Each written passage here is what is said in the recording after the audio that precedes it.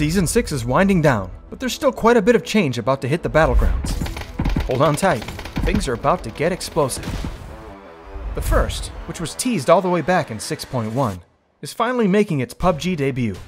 The Panzerfaust is a rocket launcher with an effective range of up to 150 meters, and can only be found on Karakin.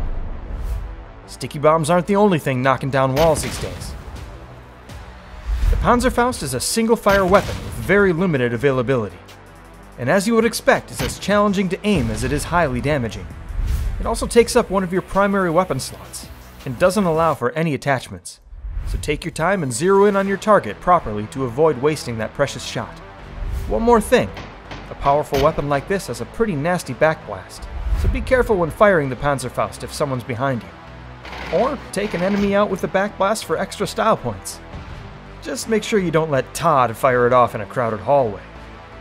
In fact, don't give it to Todd at all. Panzerfaust is bound to add even more tension to the already tense Karakin. We're looking forward to seeing the crazy plays you all pull off with this one. We're also taking the end of the season to do a little weapon balance. The M249, the Tommy gun, and the UMP45 are all seeing some changes. The biggest shuffle perhaps is the M249, which is now a world spawn weapon. Previously you could only find the M249 in care packages, but we've updated its look and sound, added some attachment slots, and reworked its numbers a bit. Previously the M249 held 100 rounds of ammo, but will now default to 75, and go up to 150 with an extended magazine. To help counter the gun's increased availability and capacity, we've increased its recoil and lowered the damage per bullet a bit. The Tommy gun hasn't changed much since launch, so we're giving it a little love this update with a damage increase, recoil reduction, and finally the ability to attach red dot and holo sights. And last but not least in the balance hopper is the UMP-45. Since the swap from 9mm ammo, the UMP has dropped off a little in usage, so we're upping its damage and bullet travel speed. For more detailed information on the gun rebalance, check out our full patch notes.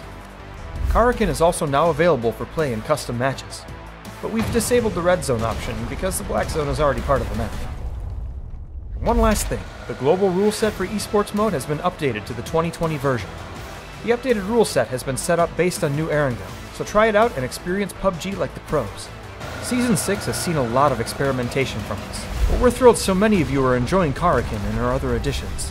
There's some cool stuff on track for next season, but for now, train up with the new weapon and balance changes.